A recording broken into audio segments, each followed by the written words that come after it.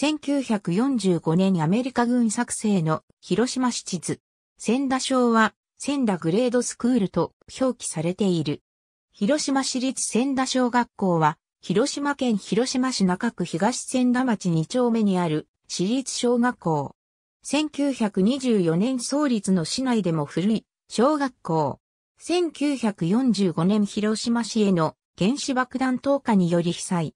当時の校舎の一部が被爆遺構として校内に残っており、著名な被爆樹木、被爆青霧の二世樹も移植されている。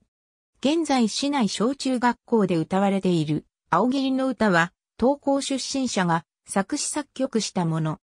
被爆遺構である飼育者校内にある小動物飼育者は、千田国民学校時代の1945年8月6日、原爆に被災して鉄骨のみが焼け残った行動の遺構を利用し、1956年飼育者として作り変えられた被爆建造物である。1976年8月3日、校内に千田国民学校原爆犠牲者追憶碑を建立した。校内にある被爆樹木であるイチョウ貝使い武器などが広島市の被爆樹木リストに登録されている。また校内緑化に伴いよそから移植した被爆樹木、二世樹木も存在する。